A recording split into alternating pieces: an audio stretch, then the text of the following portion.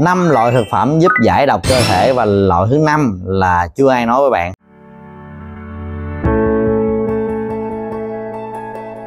Thứ nhất là khoai lang và bắp hay là bí ngô. Thực phẩm từ các loại củ nó rất là giàu chất xơ, trong đó khoai lang và bí ngô được đặc biệt khuyến khích sử dụng. Ngoài cái việc giàu chất xơ ra, thực phẩm này còn giàu vitamin A và carotenoid thì chất xơ có tác dụng hút đẩy nhu đồng ruột nên nó sẽ giúp giải độc hoặc là giúp đào thải những cái độc tố bám ở trên thành ruột vitamin A và carotenoid là các yếu tố giúp tăng cái khả năng lọc của gan hay là đại, giải độc của gan. Thứ hai đó là nấm.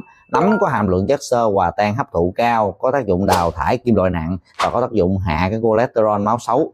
Đồng thời, nấm là thực phẩm mà có hàm lượng kali cao, có tác dụng lợi tiểu mạnh có thể làm tăng độ lọc cầu thận, tăng chức năng lọc của thận và giúp đào thải những cái chất độc hại thứ ba, những cái loại rau củ có màu xanh đậm. Các loại rau củ có màu xanh đậm có giá trị dinh dưỡng cao, trong đó lá, khoai lang và rau muống được nhiều chuyên gia khuyên dùng.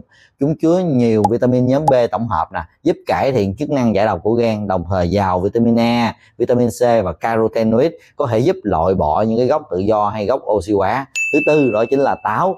Táo là một loại trái cây có chức năng giải độc rất là tốt vỏ táo thì là chất xơ thô. Cái thịt táo hay cái cùi đó là chất xơ hòa tan. Táo có chứa các axit hữu cơ như axit malic và axit citric có tác dụng đào thải những cái axit lactic làm cơ thể bớt mệt mỏi nè.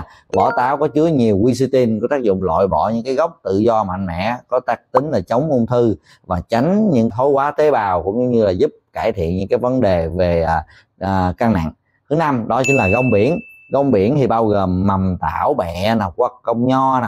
Thì loại thực phẩm này giàu chất xơ hòa tan, có lợi cho việc giảm hấp thu những cái chất có hại trong đường ruột, đồng thời có thể hấp thu axit mật và bài tiết ra ngoài, giúp giảm cái cholesterol máu xấu, có khả năng hấp thụ kim loại nặng, có chức năng loại bỏ những cái chất có hại. Hãy theo dõi kênh của bác sĩ Minh để có thêm nhiều kiến thức y khoa bạn nhé.